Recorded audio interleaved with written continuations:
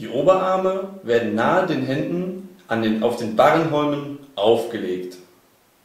Die Ellenbogen werden aktiv heruntergedrückt, sodass ein Armrumpfwinkel von 90 Grad entsteht. Der Kopf ist während der Gesamtkörperstreckung in Verlängerung des Rumpfes.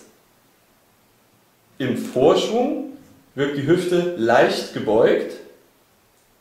Gleichzeitig werden die gestreckten Beine in Richtung der Holme geführt. Der gesamte Körper schwingt nun bis auf Höhe der Barrenholme oder höher. Der Blick ist auf die gestreckten Füße gerichtet. Im Zurückschwingen in die Senkrechte wird die leichte Hüftbeugung in eine Ganzkörperstreckung umgewandelt. Dabei ist ein fester Griff der Hände besonders wichtig. Der Körper schwingt nach Passieren dieser Senkrechten mit einer leichten Überstreckung der Hüfte in den Rückschwung. Es folgt eine Überstreckung des Hüftgelenks und ein aktives Hochführen der Beine.